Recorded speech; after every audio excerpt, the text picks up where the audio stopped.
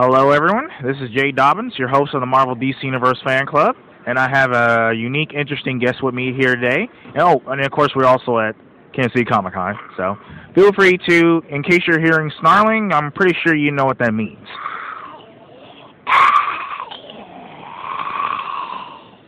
It's a good thing they do not exist in real life. Okay, uh, so yeah, feel free to introduce yourself and let everyone know where you're from. Hi there. I'm Dylan. They call me the Zombie King of Kansas City. I'm a walker, the walking dead. All right. And is this your first time here at Kansas City Comic Con? Yes. All right, cool, cool. And uh, what made you want to portray this role?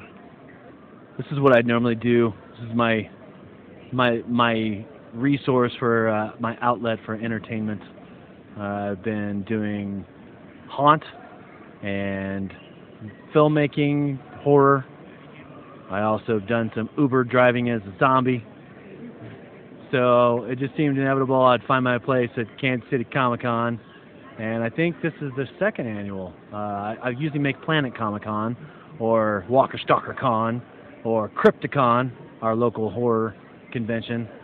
But uh, this will be the first time I come to Kansas City Comic Con. All right, cool, cool, cool. So, but yeah, uh, I like I like how you did the. co- I like your costume, man. You kind of get you got my attention yesterday, and I was like, you know what? I need, if I I need to interview this guy if I if he comes tomorrow.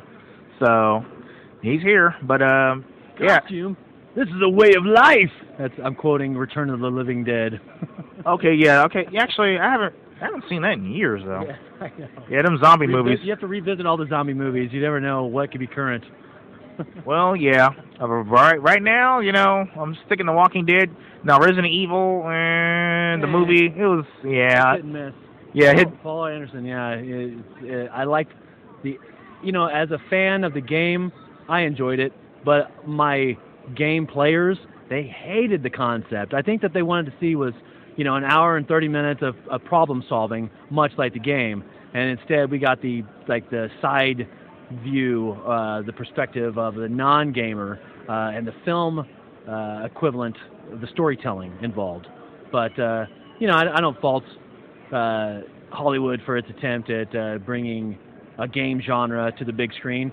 Uh, a new zombie thing that happened ac- across uh, was uh, Dead Rising, the video game, Yeah. and it has a live-action film, and uh, it's fabulous. It's a real good adaptation where the characters are encouraged to make weapons uh, improvised out of different objects, much like the gamer does in the in the premise of Dead Rising video game. Yeah, I, think I did play that game one time. I told myself that I was like, they was like, hey, people were telling me, dude, whatever you do, do not go outside the mall in the front door. And I was like, why not? He's like, uh, you, he's like, uh, dude, you really don't want to know the answer to that question. I was like, you know what? I think I might have a pretty good idea. So I was like, you know, I'm not going to do it. But um, yeah, like Dead Rising. Fun. Yeah, that kind of yeah, it was fun, but yeah, there was one part, several parts in there that kind of scared me. So. And well, actually, I did break the rule. I did enter the. I did go out the exit through the front, and next thing you know, there's a whole bunch of frickin' zombies everywhere. I was like, oh crap! I had to pause the game and load it back to my last checkpoint. Well, that So yes, I was cheating. that game likes to um, uh, spotlight two of the premises of a zombie film. It's the zombies and then the psychopaths, the survivors, and and how demented their lives become. And I, if I think correctly, uh, there's a lot of uh, uh, dangerous humans in in that story, just like in The Walking Dead.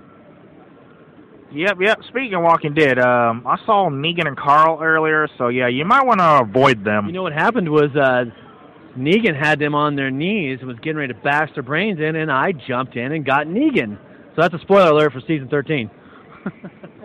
okay, dude, you just destroyed the entire series. I'm just, no, actually, I'm just kidding. I'm just kidding. He's Actually, uh, when I when I killed Daryl, uh, oh god, I'm not supposed to disclose that. But uh, dude, spoiler on, alert.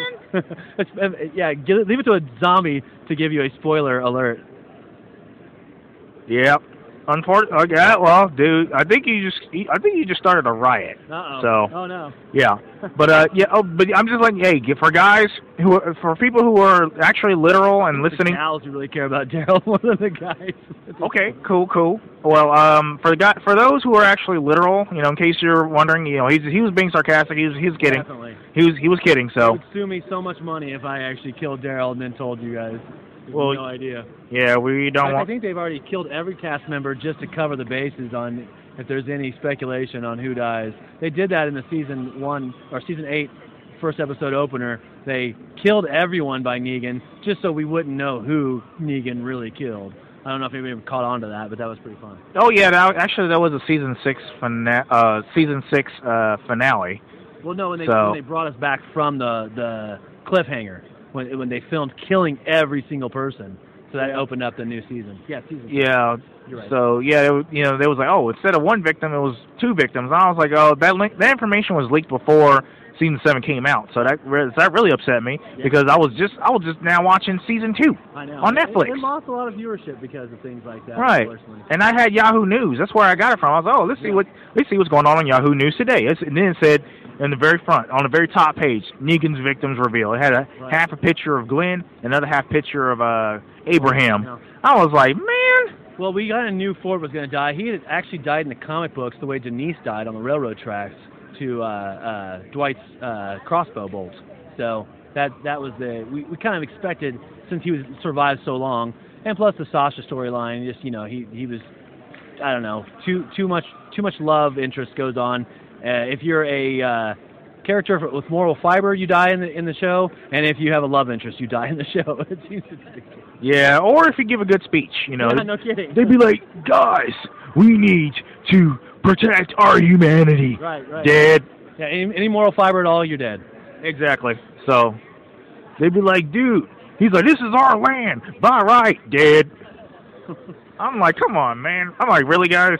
I'm like, don't give out good speeches. It seems like Rick's the only one, only one able to get away with a speech and not die so far. I mean, for now, anyway. Yeah, we wonder is Rick gonna be able to endure the Walking Dead TV series? We'll find out. Well, actually, unfortunately, it's it was already confirmed that he is going to die. I, I thought so. I think he dies in the comic book. Well, yeah, but we just don't know how or when yet. So that's the million dollar question there. But you know, Norman Reedus was was uh, written off in episode six, season one, and he's survived quite a few more seasons since then. So anything could happen. Well, true, true. But uh, so yeah, that concludes this uh, interview. Feel free to visit. Well, it pretty much turned into a panel, pretty much. But uh, you know, it's still, you know, I, I, I like to make it interesting. So, but yeah, anyway, that concludes this interview. Feel free to visit us, like us on Facebook. We are available on iTunes, Google Play Music app, and now YouTube. And uh, oh, by the way, I want to go on record and say, if Daryl dies, we riot. I mean, not me, but you know, the other people who are fans of the show. So, and there you go.